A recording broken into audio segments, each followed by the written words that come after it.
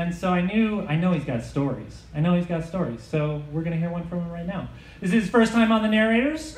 Uh, he is the CEO of Perspective Media. Please welcome Stuart Tucker Lundy.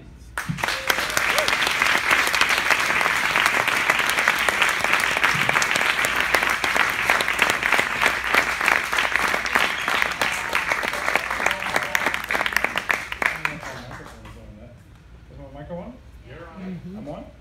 Well, I don't know if I can compete with uh, the eye maggot guy and uh, the farting uh, PTA teacher. But, uh, God damn. Oh, side note, if you fuck a guy with maggots in his eye, and if you don't take a dick in the ass, you're a hypocrite.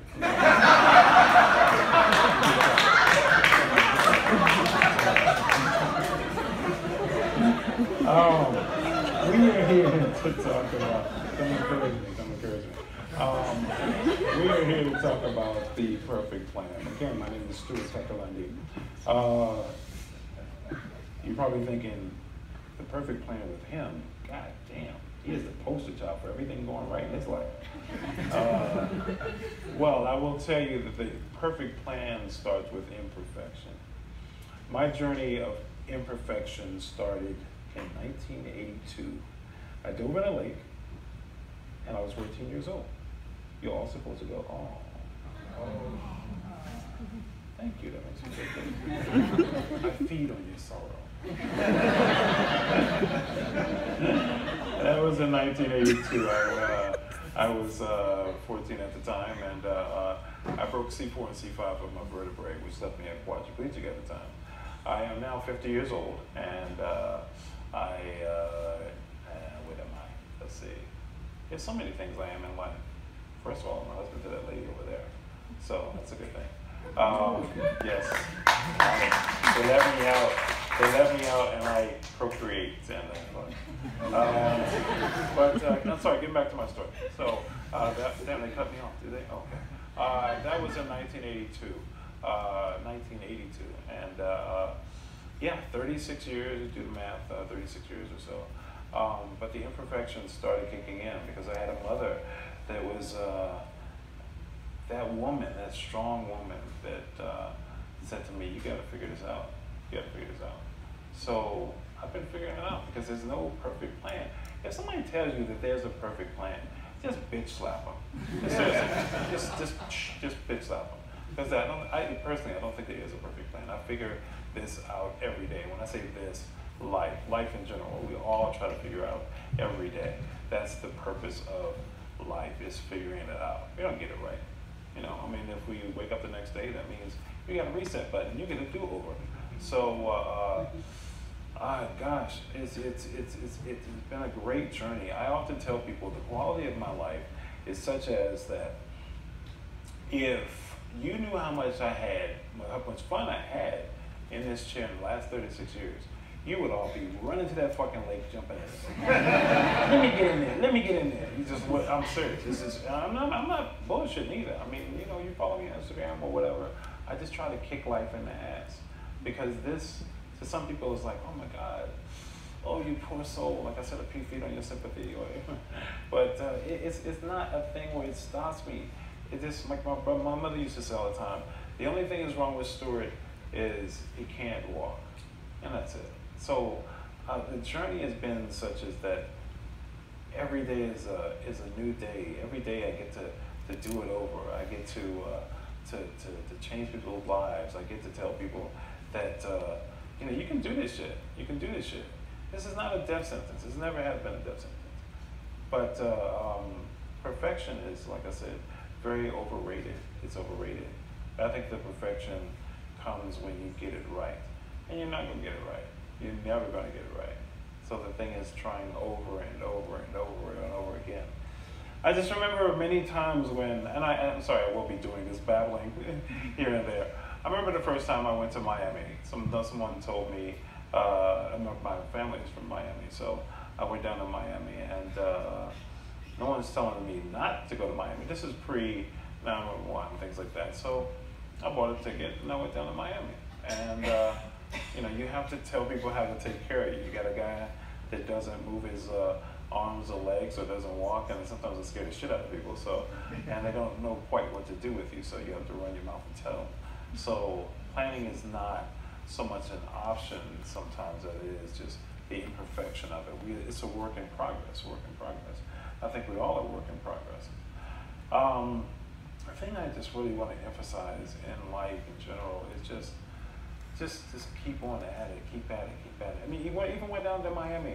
I went down there and I, I had such a good time because these were places that I went when I was a, uh, uh, when I was younger, actually, and uh, I spent my 20s. And because uh, I, I was a professional whore, and I, I whored around in Miami quite a bit in my 20s. and uh, um, uh, a wheelchair whore, if you will. And um, all things are possible. yeah, I'm telling you, I am telling you, it is. Uh, it's it, it, it, was one of those things. It's one of those things where I, I, I wish you guys could live the way that I live. I almost feel sorry for you guys. You able-bodied, limit yourself. You limit yourself so badly sometimes. I know I'm being condescending right now, but it's okay. You're white. Um, so, but no, you limit yourselves.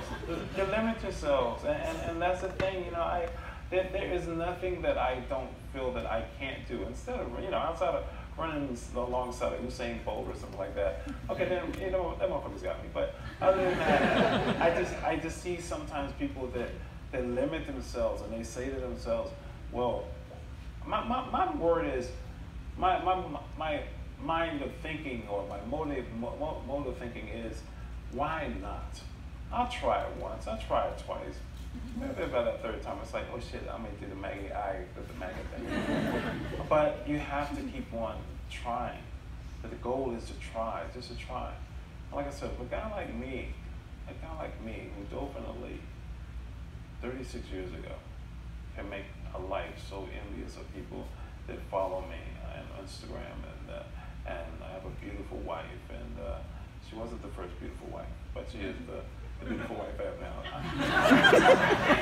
I'm going to get my ass kicked. I can feel her eyes rolling. I feel her eyes over there looking at me like, you motherfucker. but I, I just, I, I really implore you, implore you to just live the fuck out of life.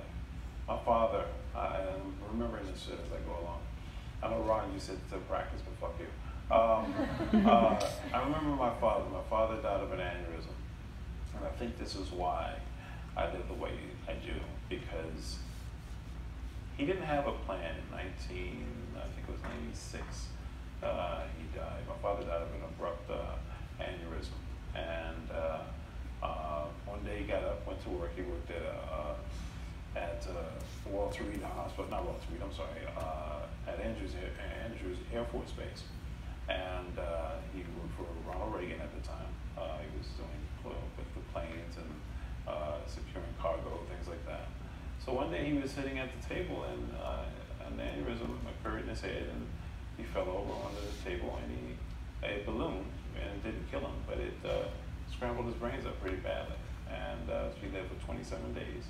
And on that 27th day, my mother had to make the decision to put him off of life support because the, the aneurysm had then ballooned. So, you know, as a 50 year old man now, I know, you're looking black on crack. Uh, I think to myself, gosh, I'm living past what my father would have been at his age. I'm, far, I'm, I'm well into my 50s now. I am 50, I'm so And I think about that, and I'm like, man, when I get caught up in the minutia of bullshit, or I started dealing with negative people, or just mundane bullshit, it's, it's holding me back from my perfect plan of life. I think to myself, well, an aneurysm can happen right now. Do you really want to fucking be bothering with somebody right now while an aneurysm hits your head? Do you really? I mean, there, will be somebody on Facebook or for that matter, uh, a, a, comment. You, you just want to sit and get ready to type that, that comment in, and it's like, what if I'm typing a comment to some asshole that I don't know on Facebook and I fucking has a, have an aneurysm. I would be so fucking mad. I would be like, oh shit. I mean, damn, that's so fucked up. So that's why I implore you, just just don't sweat the, the small stuff. Get to the great stuff.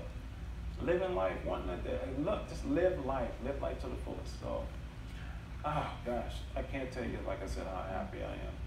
I'm not just telling you for that. I'm telling you, telling you for yourself. I'm telling you because I live it every day, every single day. I love life. I look at the, like I said, I look at the way my father died. 27 days of not knowing where he was at. 27 days of not knowing, you know, people. He would come in, go out of lucidity and not know he, where he mm-hmm. was, things like that. So I just look, I think back at that now at 50 years old, like I said, and I'm like, man, I have lived the fuck out of life, and I am so proud of myself. And I get to sit in front of you right now, this big ass light on me, I'm telling you how fucking happy I am. Where else can I go to tell people that? Nowhere. But I don't fucking care. But I'm just saying, it's good life. It's good life. It's really, it really is. So, to wrap this babbling monstrosity of a, of a dialogue up, uh, just please don't take a minute or a moment for granted. Live in the moment.